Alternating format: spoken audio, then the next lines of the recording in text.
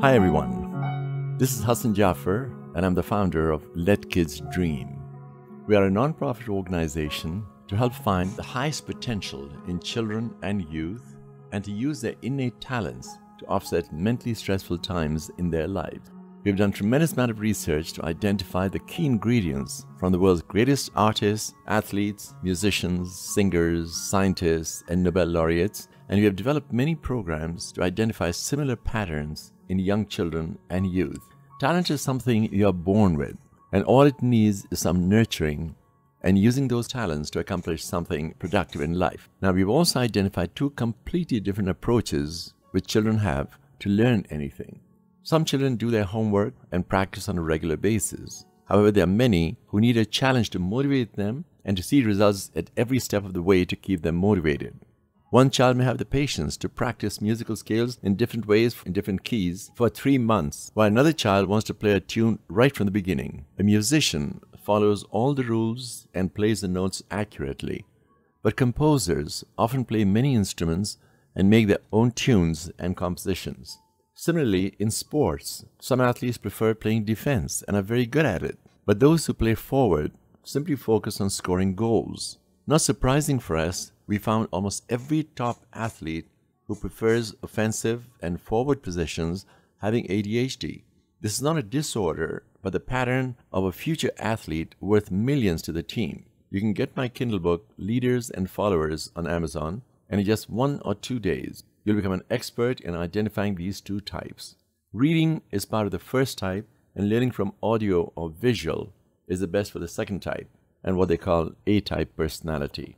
Another trait we found common amongst most successful musicians and athletes was an obsessive and addictive tendency. Whatever they do, they do it with an obsession. However, how you offset this obsession is your free choice.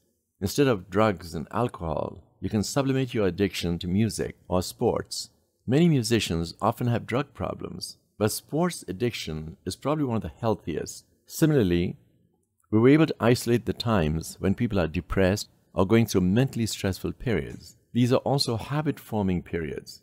Even if you're not born with it, everyone goes through cycles of periodic addiction. Now, it's very important how you handle those times and use your free choice effectively and start good habits.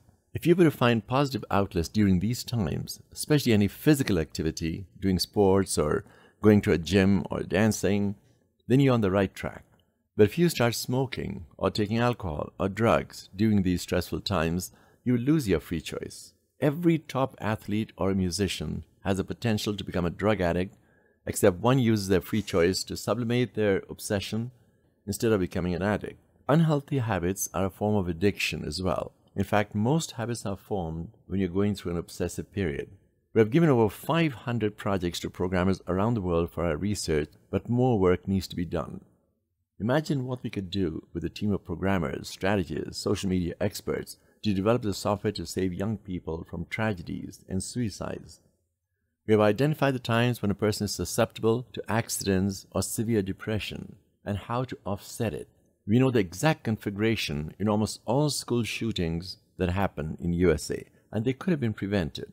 We are developing apps for social media so young people can reach out with virtual hugs when their age group is going through lonely phases. And I'm sure it'll bring a change of heart in the perpetrator. We could save the lives of thousands of young people who commit suicide out of depression, which could have been avoided. The whole world is going to be connected in the very near future, and social media is probably the best place to reach out to the youth and warn parents as well when their children are in danger. The databases are critical for identifying potential risks and accidents, which will be a highly useful tool for not only prevention, but also to sublimate negative themes with positive outlets and activities. We have already identified the planetary configurations for freak accidents, school shootings, and nightmare configurations, which affect various age groups around the same time. Certain periods can lead to a weakened immune system, leading to nightmare scenarios in their lives or behaviors resulting in tragedies. Join our group of volunteers and community and be a part of this great cause while contributing your own skills towards gathering and expanding our databases of artists, singers, scientists, writers, musicians, and other talents. Your donations, however small, will help us create powerful databases to collect data on various subjects pertaining to children and their aptitudes and for programming complicated algorithms using the best technology available to save lives. Every child is unique and different in their own way, and every child has the potential to become a champion. Together, let's make their dreams come true. Hassan Jaffer.